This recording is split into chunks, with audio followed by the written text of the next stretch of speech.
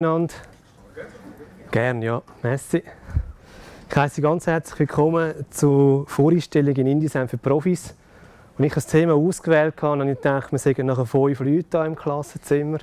Weil Vorstellungen das interessiert meistens niemand so. Kurze Frage, wer von Ihnen hat Vorstellungen schon mal offen im InDesign? Hand hoch. Schön, das ist gut. Wer hat sie dann wieder zugemacht? Auch wieder Hand hoch. Ah ja, okay, gut. Dann hoffen wir, äh, dass der Rest alle Einstellungen begriffen hat. Nein, ist ein Scherz. Es sind so viele Einstellungen und ich habe mir das überlegt, wenn ich das im InDesign zeigen möchte, dann haben wir das Problem, dass sich die ganze zwischen dem Voreinstellungsfenster und dem InDesign wechseln wird. Und dass Sie wahrscheinlich dann mehr nur das Fenster plus auch meine Wechslerei sehen werden und wir dann schon 45 Minuten durch haben. Darum habe ich das jetzt ein bisschen, äh, nicht grafikmäßig gemacht, sondern ich zeige das mit einer Präsentation, wo ich gewisse Sachen schon vorbereitet habe. Und ich möchte kurz aufs Programm kommen. Zuerst werden wir die globalen versus die lokalen Voreinstellungen miteinander anschauen. Was heißt das eigentlich so genau? Dann werden wir wirklich die, ich glaube 18 Paletten sind, Gesundheit, durchgehen. Und ich werde dort ähm, ein paar äh, Bemerkungen dazu sagen. Wie gesagt, es gibt auch bei der Voreinstellung keinen goldenen Weg, es gibt auch kein richtig und kein falsch. Es gibt vielleicht ein einfacheres und eine weniger einfache Einstellung oder ein besser und ein schlechter. Aber man kommt mit allen Voreinstellungen ans Ziel. Und nachher haben wir noch Zeit für Fragen und Antworten. Wenn irgendwie Fragen sonst sind während, dem, äh, während der Präsentation, bitte einfach melden. Und ich werde dann versuchen, auf die einzugehen oder vielleicht auf nachher auf die Zeit zu verweisen. Jetzt, was sind die globalen Voreinstellungen genau und was sind lokale Voreinstellungen? Wenn man das InDesign startet und jetzt wie ich kein Programm offen hat, dann bearbeiten wir die sogenannten globalen Voreinstellungen. Das heißt, wenn ich jetzt auf äh, Voreinstellungen gehe und da irgendetwas umstelle, dann habe ich das für sämtliche Dokumente eingestellt, die ich ab dem Zeitpunkt erstelle, wo ich ein äh, neues InDesign-Dokument öffne. Wenn ich aber ein Dokument offen habe und dann die Voreinstellungen ändere, dann sind die natürlich nur dann gültig, solange das Dokument offen war. Sobald ich das Dokument schließe, fällt das InDesign wieder zurück in seine alten Voreinstellungen. Und darum empfehle ich, zuerst, wenn man InDesign einmal zu, äh, aufmacht und kein Dokument offen hat, gewisse Voreinstellungen zu machen, dann muss es nicht jedes Mal wieder von Neuem machen. Das mit diesen globalen Voreinstellungen geht so, dass man zum Beispiel auch könnte ein Farbfeld anlegen könnte, das man immer wieder braucht. Ich mache es schon abbrechen. Und wenn man das anlegt und man kein Dokument offen hat, dann habe ich nachher das Farbfeld immer wieder zur Verfügung, wenn ich neue Dokumente öffne. Das Gleiche gilt zum Beispiel auch für die Schrift. Wenn mir die Minion Pro Schrift da von Adobe nicht gefällt, dann kann ich auch sagen, ich stelle meine Hausschrift ein, sage das jetzt äh, Helvetica oder was auch immer. Und somit hätte ich die schon immer nachher parat und muss nicht jedes Mal umstellen. Das sind einfach die globalen Voreinstellungen, die man macht, wenn kein Dokument offen ist. Jetzt äh, wechsle ich wieder zur Präsentation und möchte, wie gesagt, gerade einsteigen in die einzelnen Reiter. Wir gehen jetzt wirklich nah dies nah durch. Und Sie können nachher auch die Präsentation von mir über die Slides. Sie müssen also nicht jedes Öckchen mitschreiben. Sonst äh, wird es wahrscheinlich nachher noch äh, irgendeinen Krampf in der Hand geben. So. Und wenn jemand einen neuen Block braucht, dann bitte melden. Ähm, ich habe immer als erstes ähm, meine empfohlenen Voreinstellungen genommen. Das heisst nicht, dass die die ultimativ richtigen sind. Das ist die, wie ich arbeite. Und äh, es gibt sicher immer dafür und dawider und die möchte ich auch erläutern. Als erstes kommen wir ähm, da zu der immer Untergruppe laden. Das ist, äh, wenn man eine OpenType-Schrift hat, das sind ja die eigenen Schriften, die man brauchen sollte heutzutage, dann können die bis zu 64'000 Zeichen enthalten. Und damit das InDesign nicht sämtliche Zeichen von einer Schrift ins Dokument einbettet, haben wir da die Einstellung 2000 drin. Das heißt, wenn wir eine Schrift haben, die grösser als 2000 Zeichen hat, dann tut InDesign auswählen die Zeichen, die ein Dokument braucht und bettet die ins PDF ein. Wenn sie unter 2000 sind, bettet es immer alle ein. Also das heißt, wenn es eine alte klassische PostScript-Schrift ist, dann wird alles immer ins Dokument eingebettet. Das ist einfach einer, den ich nicht verändern würde. Der ist auch super so eingestellt. Dann möchte ich gerne zu den Abschnittsnummerierungen kommen. Ähm, was heisst das genau? Ich habe es immer versucht, ein bisschen rot zu markieren. Ich hoffe, man sieht es von der hintersten Reihe. Und ähm, die Abschnittsnummerierung ist so, dass wenn man ähm, da einen Abschnitt hat und man gerne zweimal möchte Seite 1 haben, dann haben Sie das sicher auch schon erlebt, reklamiert sind die und sagt, ich bin ein Computer, ich komme nicht raus, darfst nicht mehr als zwei, äh, einmal eine Seite 1 im Dokument haben. Ähm, Dann gibt es die Lösung, dass man eben sogenanntes Präfix macht, das Abschnittspräfix. Jetzt in meinem Fall, ich hoffe, man sieht es, steht da vorne Abs und dann Doppelpunkt. Und das ist beim Drucken relativ mühsam. Oder wenn man das PDF nachher macht, sicher auch schon erlebt, muss man Abs, InDesign macht glaube ich, automatisch Abs 1 Doppelpunkt rein. Und dann muss ich Abs 1 Doppelpunkt 1 bis Abs 1 Doppelpunkt 4 schreiben. Und dann druckt es mir jetzt meine Seiten 1 bis 4, die blau markiert sind. Nachher, wenn ich Seite 1 drücke, ist es richtig, muss ich nur noch Seite 1 angeben. Das passiert, wie wir hier eben gesagt Abschnittsnummerierungen angegeben haben. Also das noch schnell hervorgehoben, eben Abs und nachher bei der Seite 5 eigentlich Seite 1. Jetzt kann man das auf absolute Nummerierung ändern. Dann kann InDesign richtig zählen, also es zählt einfach das Dokument durch. Wenn wir das wieder anschauen, schnell, wie das aussieht. Ähm, nachher in der Seitenpalette haben wir da wirklich Seite 1, Seite 2 und 3 und Seite 4. Und die Seite, die vorher Seite 1 war, in unserem Fall, wäre dann Seite 5. Man muss es allerdings auch angeben nachher. Seite 5 hätte ich gerne. Und das Perplex ist, zum Drucker kommt dann Seite nachher 1 raus mit der Seitennummer 1 natürlich. Das ist etwas, was dann ein bisschen Mühe macht. Ähm, ja, ist leider so. Und sonst muss man halt ein anderes Präfix finden. Ich nehme meistens irgendwie ein kürzeres, irgendwie CV für Cover oder IHZ für Inhaltsverzeichnis. Ähm, die meisten lösen es nachher so, dass sie einfach im PDF sagen, druck mit Seiten 1 bis 25. Dann ist es nachher auch gelöst. Oder? Das wäre mal das. Dann ein weiterer, der wichtig ist, wäre der Auswahl von gesperrten Objekten verhindern. Wenn Sie ein Objekt sperren, auf der Seite gibt es ja das schöne Sperren, dann gibt es das Schlössli. Ich hoffe, man sieht es da. Neben dem Text hat es noch ein kleines blaues Schlössli.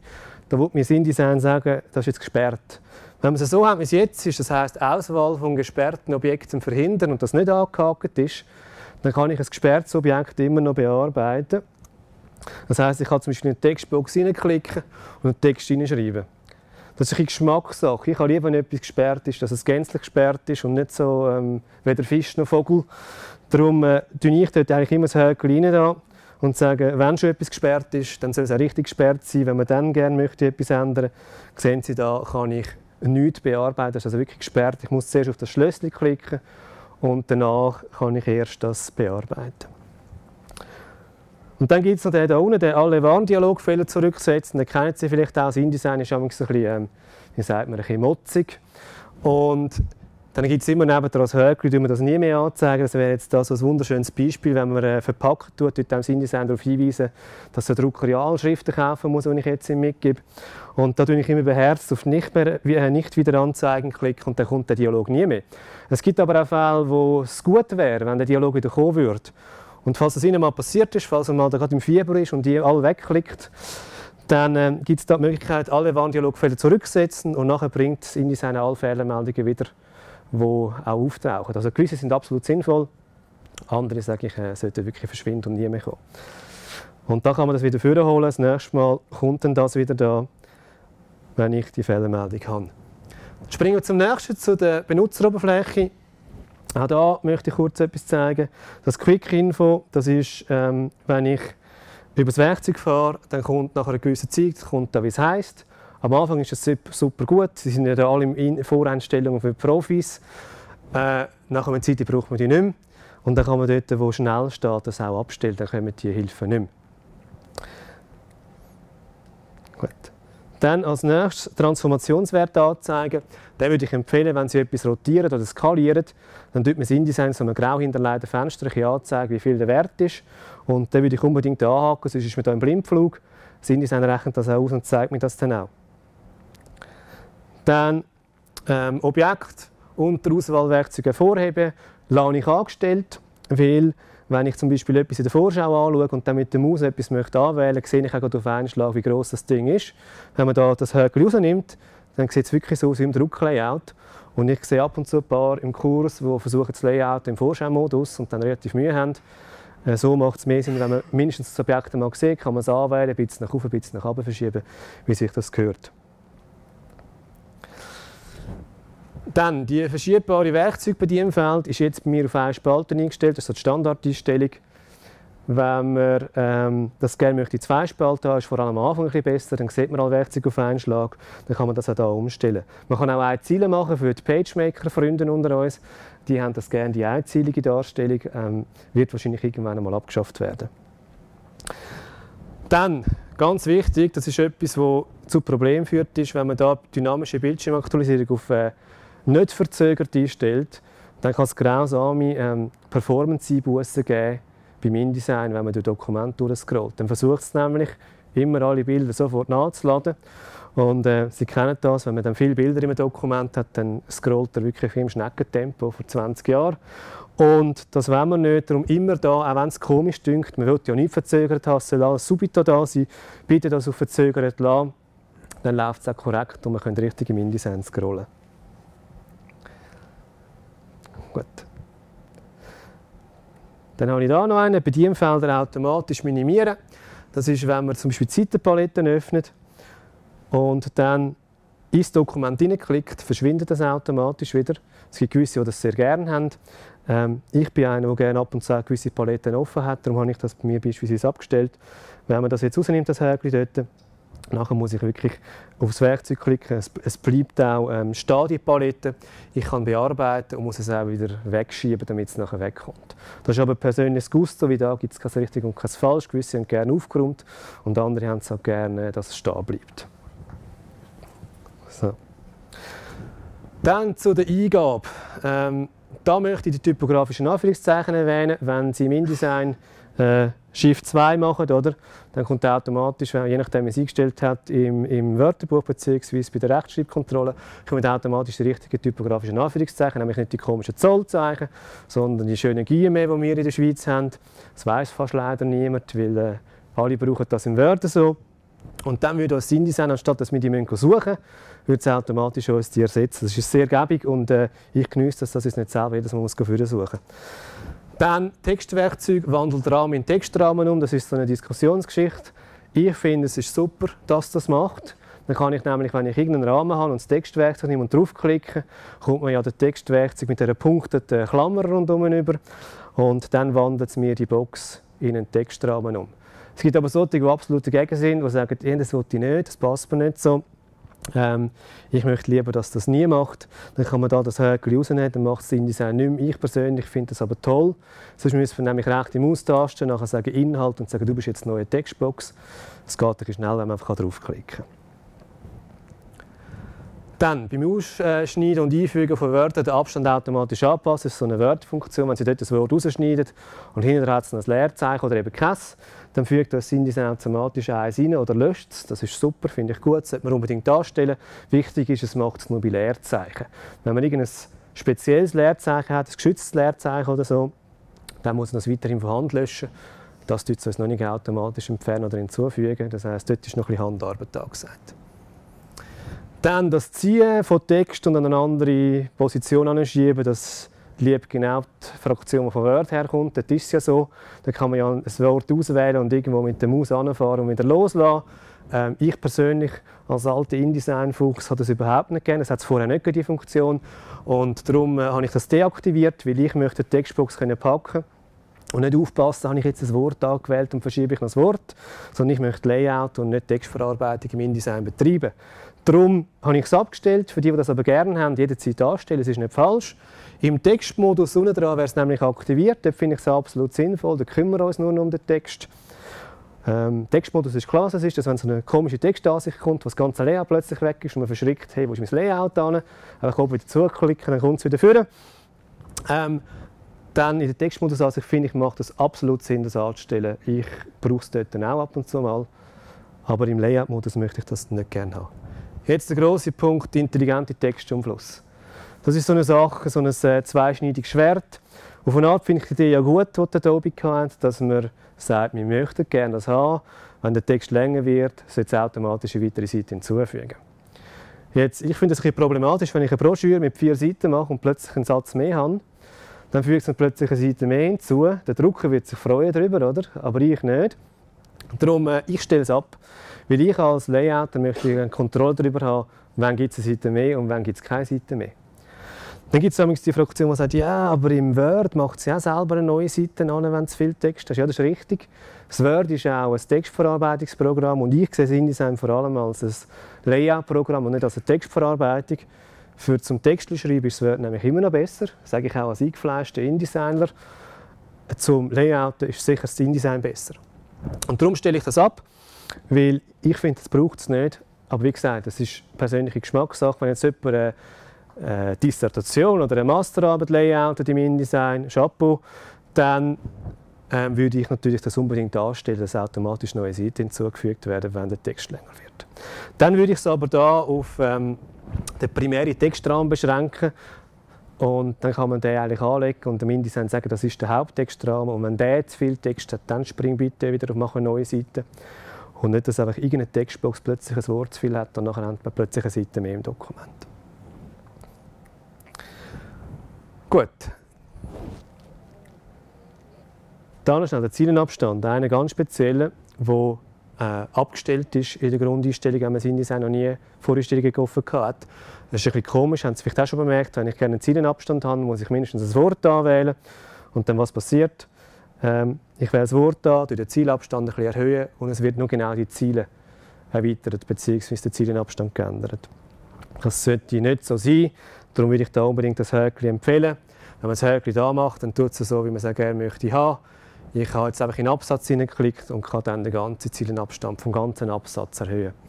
Äh, die Frage kommt dann nämlich, ja, wie mache ich den Grundlinienversatz? Das habe ich auch schon erlebt. Für das gibt es dann ein separates Fenster, wo man den Grundliniensatz kann verändern kann. Ähm, also man sollte nicht, wenn man ein Wort ein tiefer runter möchte, mit dem Zielenabstand machen, sondern macht das in dem Grundlinienversatz. Dann bei dieser Einstellung ist super, ist eigentlich schon alles richtig, beziehungsweise da gibt es äh, von meiner Seite nichts zu ändern. Das würde ich dann einstellen, je nach ähm, Gusto, die Zeicheneinstellungen. Ähm, wenn jetzt irgendjemand sagt, bei uns in der Firma haben wir aber anstatt 58,362 dann einfach eingeben. Meistens sind die dann immer gleich.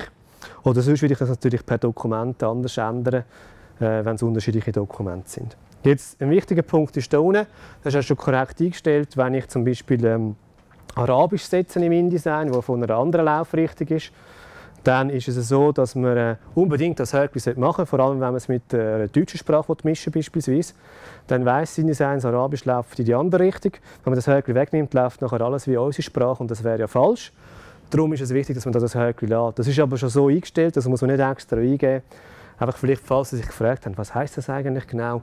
Ähm, heißt, wenn man eben nicht latinischen Text hat, dann wird er eben schön eingebunden und läuft in die andere Richtung, so wie er eigentlich sein sollte.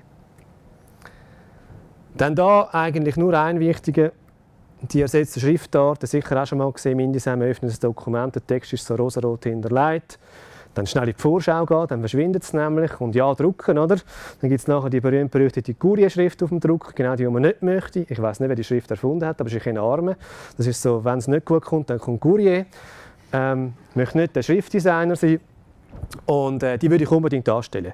Jetzt alle anderen, die Sie sehen, hier bei Markieren, kann man auch anstellen dann ist wahrscheinlich heutzutage fast jede Seite in verschiedensten Farben der Text hinterlegt. Ähm, ja, wenn man das gerne möchte machen, nur zu, finde ich gut. Aber so für, für zum normal Arbeiten langt eigentlich die Einstellung da.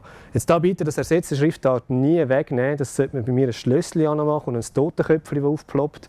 Wenn man das Schlösschen wegnimmt, äh, das ist wirklich wichtig, weil dann kommt es bei der Ausgabe unweigerlich zu Problemen weil die Schrift haben wir auf unserem Computer nicht installiert und dann tätscht es nachher in der Druckerei. Oder? Darum da ein bisschen vorsichtig sein. Jetzt diesen hier, Text neben dem Objekt ausrichten, den möchte ich gerne zeigen. Das ist so ein, ein, ein zweischneidiges Schwert. Wenn man es so jetzt hat wie da, dann ähm, sehen Sie dort auf ähm, den Text, ich zeige das rasch da, schön eigentlich immer noch linksbündig ausrichten. Wenn ich das Häkchen hier rein tue, dann hat sich geändert, sehen Sie, es treibt den Text hier aus, vor allem hier unten sieht man es schön oder eben wüst. Ich finde es nicht so schön, wenn es den Text austritt, dann gibt es grosse Abstände. Ich finde das überhaupt nicht schön. Äh, gewisse andere Layouts sind Fan davon. Wenn man den Text natürlich dann noch ein bisschen anpassen kann, so ist das super. Aber ich würde für den Alltag würde ich das Häkchen dort rausnehmen. Dann kann man sicher sein, es folgt immer noch irgendeine Konturen, aber es treibt den Text nicht aus, auf, äh, einfach, dass es zwischen die Lücken passt. Und ich empfehle, das Häkchen dort rauszunehmen. Das wäre das da.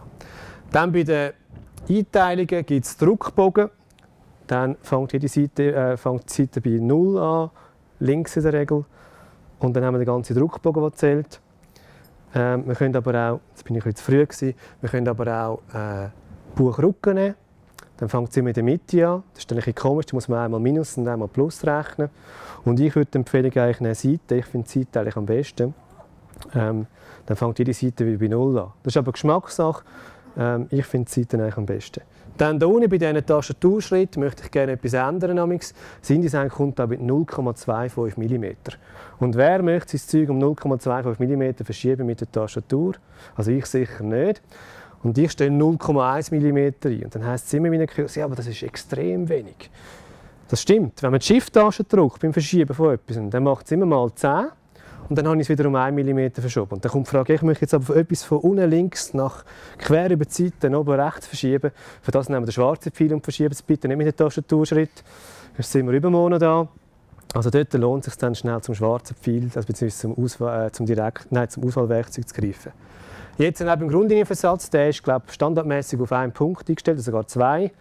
Sie sehen, ich habe die angepasst. Ich weiß die Default-Wert gar nicht mehr auswendig. Und ich stelle dort 0,1 Punkte. Auch dort wieder mit Shift-Taste gedrückt, macht sie dann mal 10 und dann kann ich recht schnell das vergrößern. Stellen Sie sich vor, Sie machen das Visitenkärtchen mit 7 Punkten Schriftgröße und wollen das ein bisschen anpassen und der Text kommt auf 9 Punkte rauf. Das macht dann recht viel aus. Beim Shift als Zeilenabstand habe ich es allerdings auf einen Punkt gelassen. Das finde ich okay. Ähm, ich weiß niemand, der 0,25 oder 0,1 Punkte rauf möchte. Äh, da macht es Sinn, das so zu lassen. Und beim Körning und der Laufweite nehme ich anstatt 20 die 5. Dann ist es einfach ein bisschen kleiner eingestellt. Auch dort mit der Shift-Taste sind wir nachher wieder mal 10, schon bei 50, was recht gross ist. So. Dann ähm, beim Raster, das ist das ominöse, berühmt-berüchtigte Grundlinienraster. Es gibt solche, die lieben es, andere, die hassen es. Ähm, bei einem Textbuch, wo wirklich viel Text würde ich es absolut empfehlen. Wenn man irgendwie ein kreatives Layout möchte machen, würde ich es nicht nehmen. Wenn man es aber nimmt, empfehle ich dort zum oberen Textrand einzustellen, also relativ zum oberen Textrand.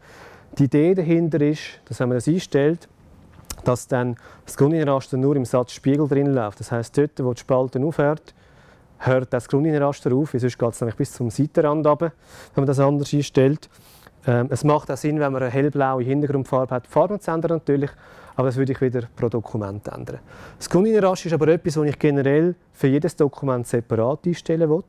Ich gehe einfach das mit relativ zu, stelle vorher ein, damit ich es nicht jedes Mal noch muss anhäkeln muss. Aber wo es anfängt, ist ja bei jedem Dokument bisschen anders. Ich nehme nicht an, dass alle die Dokumente bei 12,7 mm anfangen, sondern es ist unterschiedlich. Und das muss man eh noch mal einstellen. Aber als Grundeinstellung finde ich das gut. Dann, was ist der Anzeigenschwellwert? Das ist, wenn man in der Vergrößerung ist und man hat 75% eingestellt, dann sehe ich das Kundenraster irgendwann nicht mehr. Sonst hätte ja nur eine blaue Fläche vor lauter Linien. Und darum ist das der Anzeigenschwellwert von 75.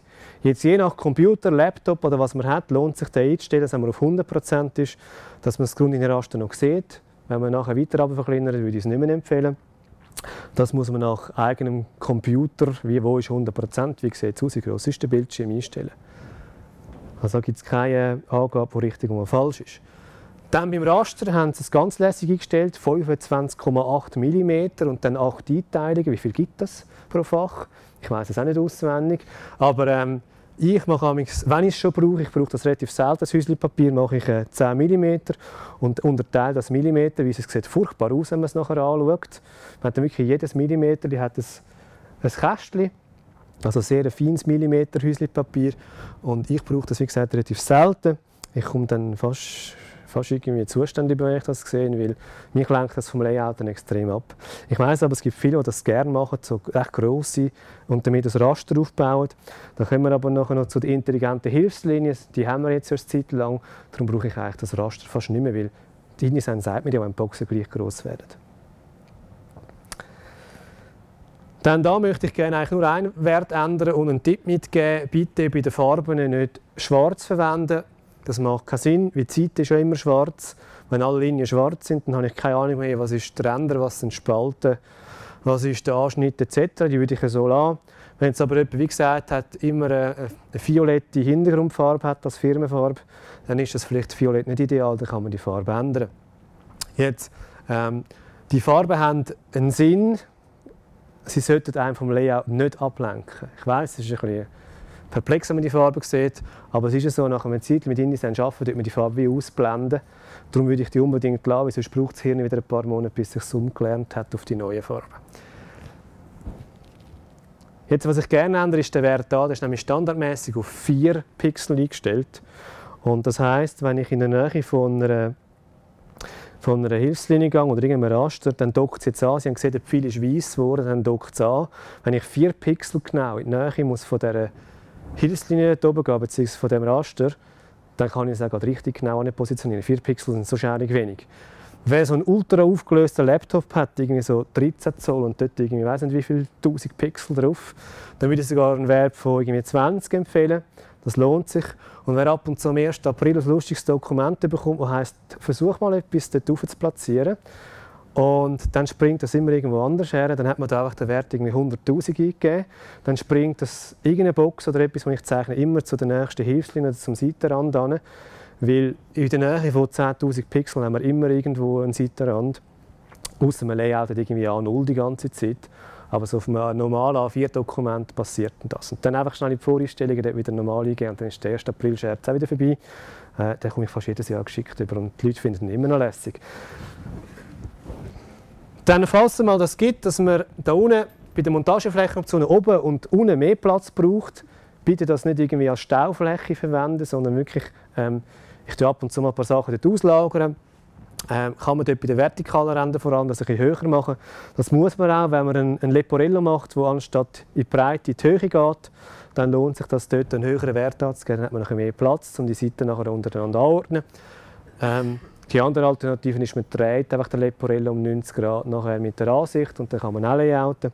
Ich würde ihn aber wenn schon richtig untereinander machen, das geht im InDesign. Jetzt die intelligente Hilfe ich natürlich selbstverständlich immer angestellt lassen. Ich könnte glaube ohne die nicht mehr leben. Die sparen mir Dutzende Hilfslinien, die ich ziehen muss. Und mit denen bin ich äh, gute Kollegen geworden in letzter Zeit. Die sind wirklich gut, die gefallen mir auch. Die dürfen gerne bleiben. Jetzt da ist wichtig bei der Sprache, das würde ich wieder pro Dokument einstellen. Wenn natürlich ein äh, französisches Dokument hat, macht es keinen Sinn, dass man da die deutsche Rechtschreibung einstellt. Wer aber vornehmlich im Deutschen arbeitet, der sollte bitte die richtige Rechtschreibung anstellen. Dann tut sich nämlich da unten auch Anführungszeichen die schönen Gie mehr vorkommen. Und dann ist immer die Frage, wir haben aber bei uns die blöden Zollzeichen, oder? Die kann man jederzeit wieder ändern, indem man die vorhanden eingibt. Dann tut InDesign das wieder ignorieren und gibt dann die richtigen Zollzeichen, also richtig, die falschen Zollzeichen ein.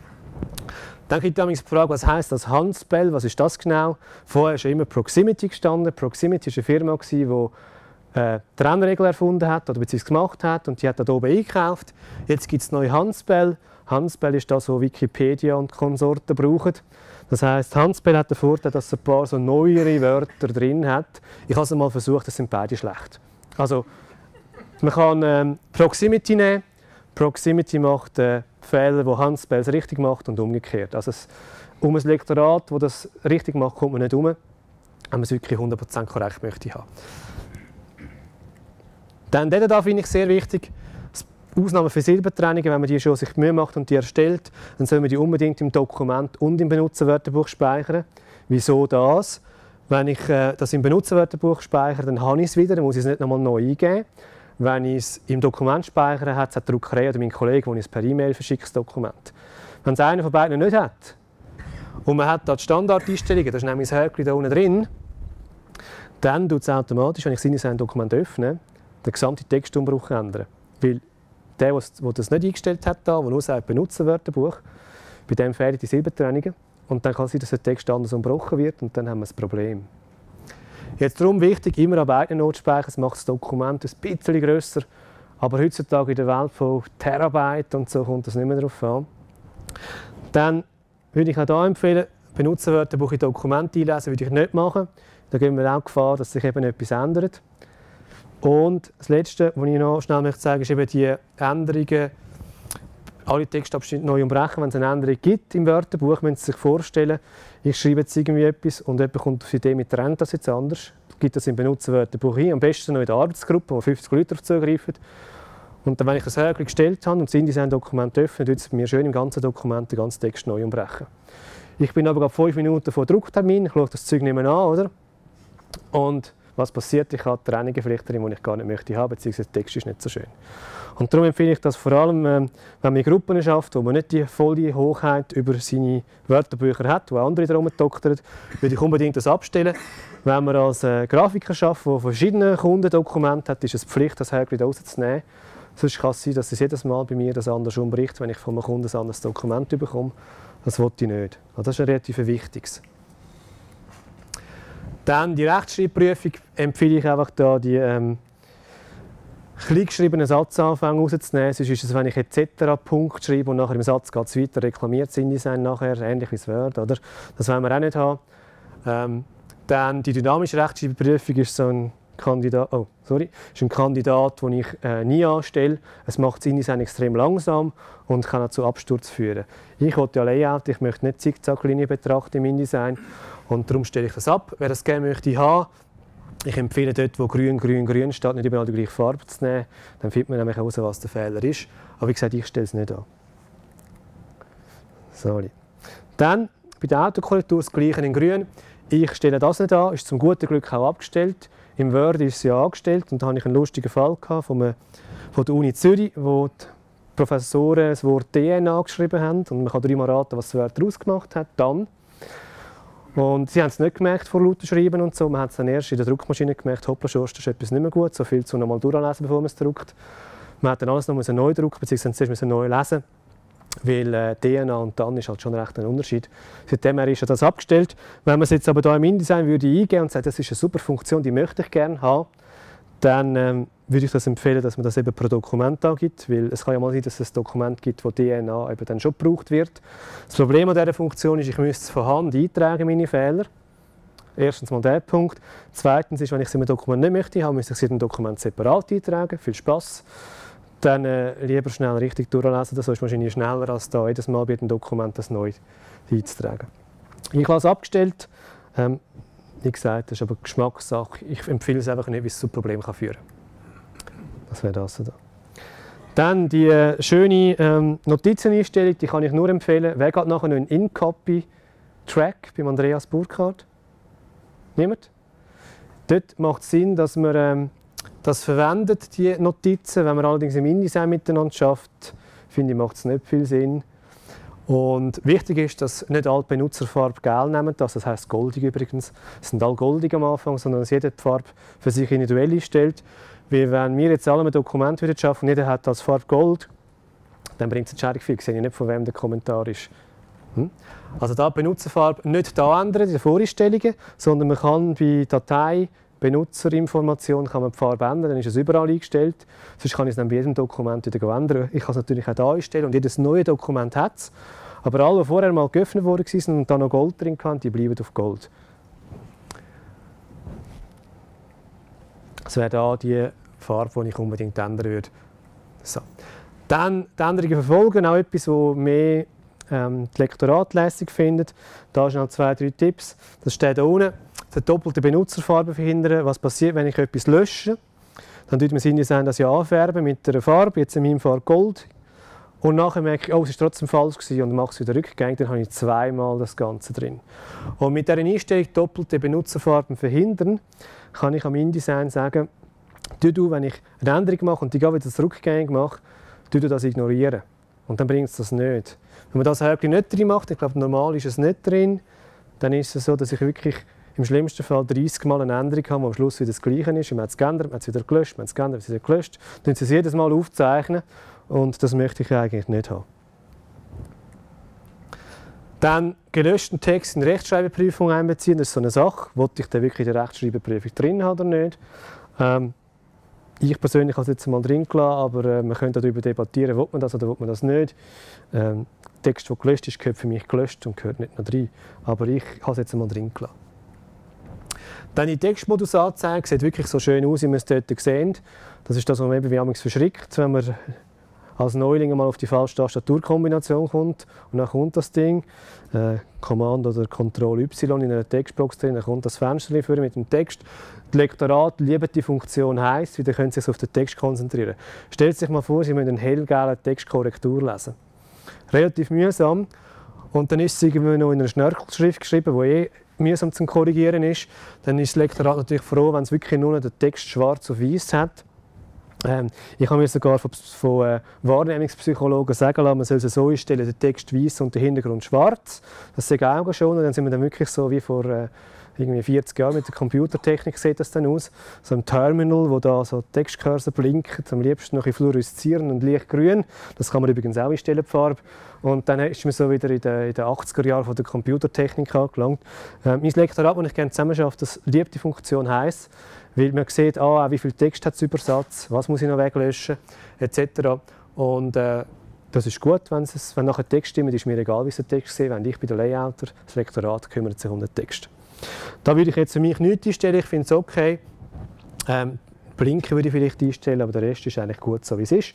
Das ist das Fenster, wo man gar nicht mehr dran in den Grundeinstellungen. Jetzt etwas, was ich gerne möchte ändern, wo ich viel gesehen wird falsch gemacht, ist da ähm, erstens mal da unten bei den Vektorgrafiken. Vektorgrafiken sind klar, was das sind, Vektorgrafiken und Rastergrafiken. Allen klar? Gut. Dann ist es wichtig, dass wenn man Vektorgrafiken positioniert und die Einstellung jetzt eben nicht so hat wie da, sondern dass da in der Mitte ist, wie da oben, dann ist es so, dass die Vektorgrafiken so wüst und gescheckt aussehen wie da das European Voyager Logo. Ich möchte die Vektorgrafik immer knackig scharf sehen, weil ich möchte die vergrößern können und verkleinern. Bei Verkleinern ist es nicht so schlimm, bei Vergrößern sieht es dann ganz wüst aus. Und darum schiebe ich den Regler da auf hohe Auflösung und wichtig ist, es ist kein Schieberegler, es gibt die Position da, da und da. Wieso sind einfach irgendwie Radio-Buttons genommen haben, ist mir unklar, das sieht schöner aus, aber es gibt nicht irgendwie zwischen da irgendeinen Bereich, den ich auswählen kann, sondern es gibt wirklich nur hohe Auflösung und der Regler einfach beherzt bis dorthin ziehen. Ich erlebe das immer wieder Kurs, wieder die Frauen versuchen ein bisschen zu schieben und die Männer reissen einfach. Die Männer haben noch nie gefragt in diesen zehn Jahren, wo ich Kurs gebe. Die schieben einfach und dann ist gut. Und die Frauen fragen immer, ja, bei mir passiert nichts, er springt immer auf, auf mittlere Position zurück. Einfach beherzt daran reissen, es kann nicht kaputt gehen. Das Ganze sieht nachher nämlich folgendermaßen aus. Das Voyager-Logo wird nachher schön scharf. Das heißt, die Vektorlogos sind immer schön scharf und Pixelbilder die bleiben weiterhin in der 72 dpi Auflösung.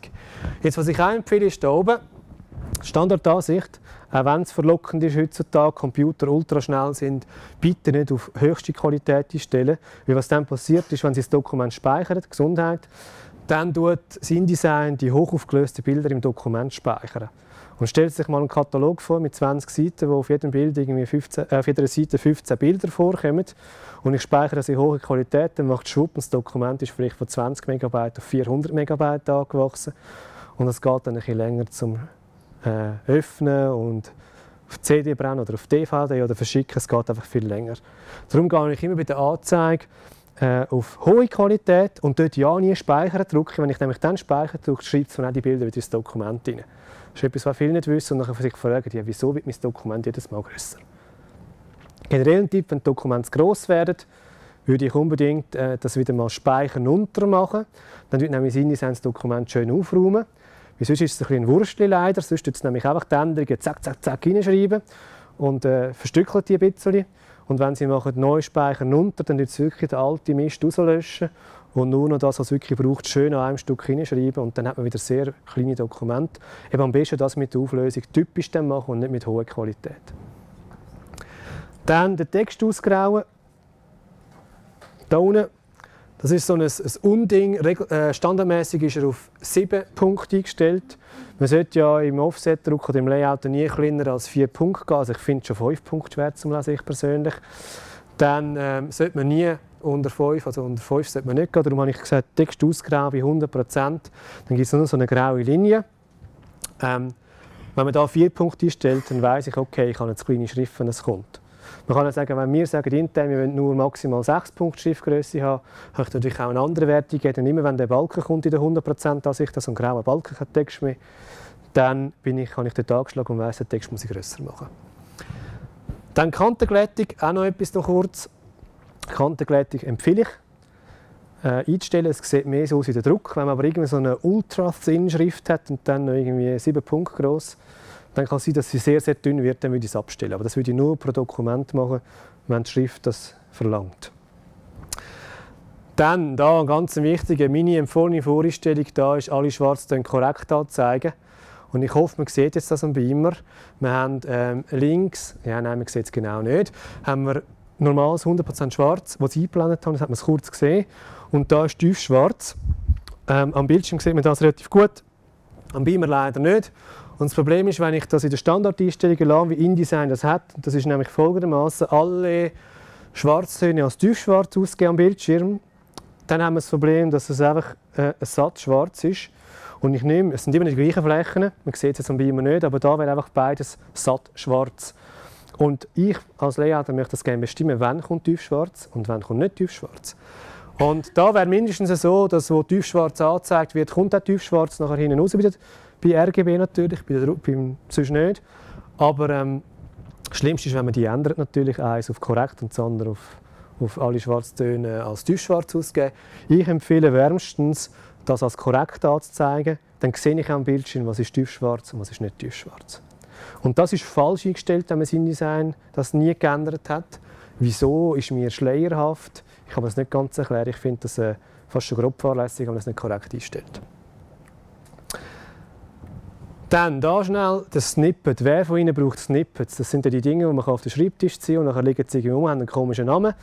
Ähm, ich brauche es nicht so oft, aber für die, die es brauchen, die haben sich gefragt, plötzlich äh, nach dem CS6-Update, Vorher hat man die Snippets reinziehen und sie sind genau in der Position hineingekommen, wo man es damals weggezogen hat. Das war dann plötzlich nicht mehr so. Gewesen. Adobe hat das geändert und hat gesagt, wir lassen es dort fallen, wo der Mauszeiger ist. Ich habe das an den Snippets aber lässig gefunden, im Gegensatz zur Bibliothek dass es immer genau dort wieder angegangen ist, wo es vorher war, dass es die X- und Y-Koordinaten gespeichert hat. Und das, für die, die das gerne wieder haben wollen, das alte Feeling, die können einfach auf ursprüngliche Position einsetzen und nachher tut das Snippets wieder dort an, wo sie vorher waren und nicht dort, wo die Maus ist. Dann wenn das InDesign, vor allem wenn wir mit einem Server arbeiten, sie öffnen das Dokument und es trüllt und trüllt und der Balken geht nicht weiter dann liegt es vielleicht daran, dass InDesign vor dem Öffnen des Dokuments oder ich sage eher beim Öffnen nach Bildern sucht, die sich vielleicht geändert haben.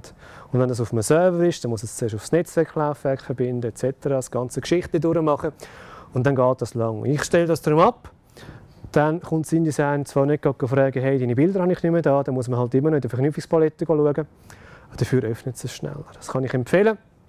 Ähm, dann hat man das auch. Überprüfen würde ich unbedingt die Anlasshäkchen oben dran, oder? Sonst haben wir nachher, äh, bringt es keine Fehlermeldung mehr. Und der hier unten ist so ein, ein, wieder ein zweischneidiges. Wer hat schon mal eine Excel-Tabelle verknüpft, hat sie schön gelayoutet. Und dann ist der Chef noch mal rein, die letzten Zahlen überprüft und hat mir sie Minisign mal aufgemacht. Sie lachen da vorne. Schon mal erlebt? Schon? Ist nachher mühsam, oder? Also darum da nie ein Häkchen machen. Ähm, das ist ja so, wenn man sonst Text importiert, haben wir den Text nachher im InDesign drin, bei Excel und so, ist, könnte man das Häkchen setzen und nachher die Excel-Datei verknüpfen in ein Bild. Und wenn sich die Excel-Datei ändert, dann ändert sich nachher das auch wieder im InDesign. Das Problem ist nur, es hat dann nachher wieder die Formatierung vom Excel. Und das ist ja meistens nicht der Sinn von der Übung. Wenn es wie Excel soll aussehen, dann ein PDF vom Excel machen und fertig. Ähm, wenn es aber wie InDesign aussieht, dann bitte das Häkchen da nicht machen, dann hat man nachher Ruhe. Hm? Jetzt als letztes noch schnell, wenn man das Häkchen nicht rein tut, PDF beim Einfügen bevorzugt, dann kann man zum Beispiel bei Kopieren von Illustrator nach InDesign, tut man das als Pfad beibehalten, dann kann ich die Pfade im InDesign bearbeiten. Wenn ich das Häkchen PDF beim Einfügen bevorzuge setze, dann habe ich nachher das PDF und kann das eben nicht mehr bearbeiten. Das ist einfach dann noch ein Unterschied. Ich habe meistens gerne Pfade im, im äh, InDesign, wenn ich Copy-Paste mache. Wenn ich aber etwas platziere, dann hätte ich gerne, dass es nicht bearbeitbar ist. Oder? Gut. Und da ist dann so etwas, wenn man kopieren und einfügt von Text aus anderen Anwendungen, empfehle ich es immer nur Text zu nehmen. Vor allem bei Word ist es so schön, wenn man nämlich sonst das kopiert und einfügt, hat man nachher sämtliche Farben und Absatz und Zeichenformat aus dem Word mit dem Dokument und die möchte man in der Regel ja meistens nicht haben. Das kenne ich, jetzt ist schon 44, die Zeit geht schnell voran. Gibt es noch irgendwelche Fragen, etwas, das ich zeigen oder erläutern etwas, was unklar ist, dann bitte nur zu. Ja? Ja. Und jetzt muss, wenn ich das also Korrektur, also Spracheinstellung, muss ich die dann, gibt es da Einstellungen, wo man die kann auf jede Ebene einstellen kann? Weil ich muss ja immer jetzt meine einzelnen Wechsel dann wieder auswählen. Ja, nein, leider nicht, aber ich würde es über Absatzformat lösen. Sie können ja das Absatzformat machen und dann können Sie das Wörterbuch angeben, das es braucht. Und dann würde ich sogenannte Absatzformate machen, die auf anderen basieren. Dann können Sie sagen, wie Deutsch ist Ihre Hauptsprache. Dann können Sie ein Absatzformat Französisch anlegen und das ist eigentlich genau das gleiche Format wie das Deutsche.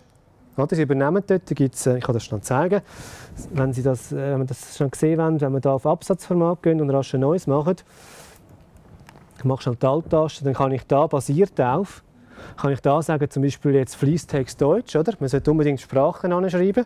Und dann kann ich da, ähm, wo ist es? Irgendwo kann ich da eine Sprache angeben. Jetzt gerade suchen schnell.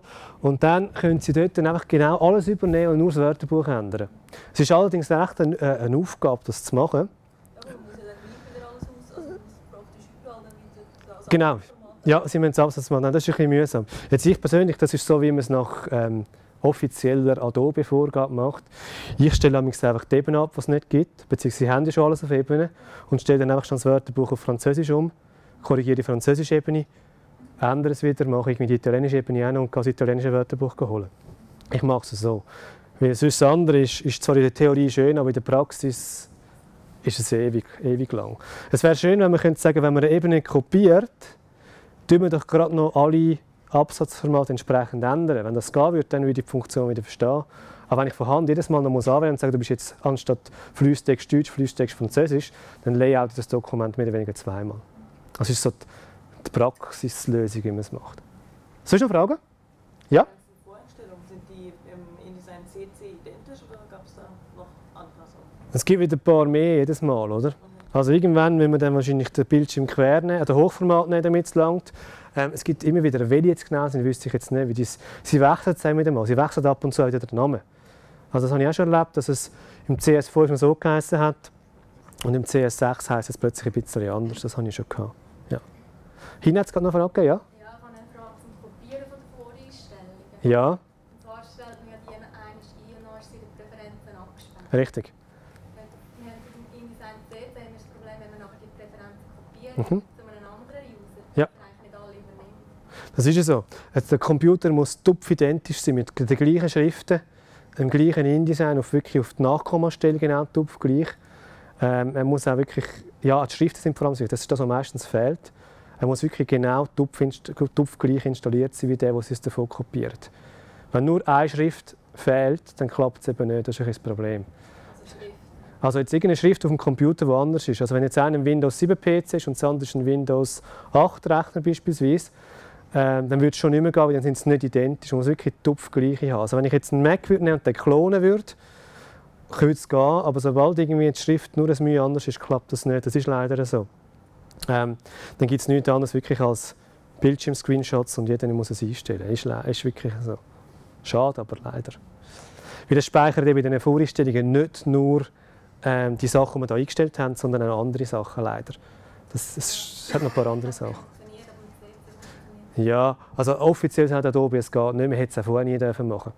Also es ist, äh, ist ein bisschen verwirrend. Sie sagen, ja, Sie können die Datei überkopieren, dann sind die Einstellungen gleich und im nächsten Satz heißt aber Achtung, es muss wirklich tupfidentisch sein. Und das ist eben, wahrscheinlich haben sie irgendwann jetzt im CC noch ein paar neue Sachen drin gespeichert, die nicht gehen. Das kann schon sein. Vor allem, weil es ja jetzt neu bei den Voreinstellungen die äh, Option gibt, dass man es kann synchronisieren kann. Mhm. Uploaden oder surfen und das funktioniert auch. Ja, also eben, es hat einen Grund, dass wir noch CS6 machen. ähm, CC ist ein bisschen, ähm, es gibt ja noch einen Track zu CC. Ähm, ich ich finde, äh, das CC ist zwar schön und recht, aber tun Sie mal in einer, in einer größeren Gruppe versuchen, die, das synchron zu behalten. Also nicht nur die Voreinstellungen, sondern leise mal die Programmversion. Also mir ist letzte passiert, ich habe zu einem Kunden müssen, habe am Abend vorher schon den Computer updated und die haben am nächsten Morgen schon das Update gemacht und mein Dokument ist schon nicht mehr, also ist bei ihnen gegangen, aber ich habe das Dokument von ihnen nicht mehr öffnen, weil sie noch schnell irgendein Update über die Nacht rausgeschoben haben. Also für die Systemadministratoren recht mühsam werden, das wirklich gleich zu schalten. Weil es ist wirklich wichtig, wenn man in der Gruppe schafft, sollte man wirklich eine InDesign-Version bis wirklich auf die hinterste Nachkommastelle gleich haben. Nicht einer hat es 0.4 und der nächste hat es 0.5, dann geht es schon wieder nicht mehr. Und dann gibt es ja meistens, was die meisten Updates beim CC sind, sind ja die, die Publishing Tools, oder DPS Suite. Und dort gibt es, habe ich das Gefühl, alle zwei Minuten ein neues Update. Also ja, ist leider so. Ich noch Fragen? Also das ist bei mir, wenn ich das CC habe, ich habe das CS6 drauf. Ich habe schon mit dem CC erlebt, mit der Cloud-Version, man kommt zum Kunden und es läuft plötzlich nicht mit der Aktivierung irgendwie mucket. Dann komme ich nicht ins Internet, weil sie natürlich noch alles gesperrt haben, oder? Dann mache ich eigentlich lieber eine Version, wo ich weiß, ich kann kommen und sie läuft. Ich habe äh, das CC da in einer VM drauf, also in einer virtuellen Maschine. Wenn ich es brauche, hole ich es für und wenn ich es nicht mehr brauche, mache ich es dazu. Ich arbeite eigentlich hauptsächlich noch mit CS6 und bis jetzt habe ich es noch nicht gross vermisst unter uns. Aber ich weiß, es gibt nur noch CC, das ist... Ja, ich weiss, Druckereien, Druckereien steigen meistens, also sie müssen ja meistens, weil irgendjemand steigt dann schon um und dann kann man es nicht mehr aufmachen. Bei mir ist es so, ich habe von InDesign CS bis zu CC alles auf meinem Computer drauf. Und das dann entsprechend immer fragen, ist es jetzt CS3, ja, dann öffnen sie CS3 etc. Also das lohnt sich, wenn man das noch behalten. Aber ich meine, ich arbeite seit InDesign 1 mit InDesign, nicht CS, sondern wirklich 1 und habe darum auch jede Version. Wenn man irgendwie erst beim 5 gestartet ist, dann hat man das Problem, dass man die alten nicht hat. Ja. Ist leider so. Und ich hoffe, dass sie irgendwie dort noch ein bisschen, äh, wie sagt man, noch ein eine gute Idee haben, wie sie das gescheit lösen wollen. Aber das ist dann nicht mein Problem, sondern das von Adobe. Sonst noch Fragen?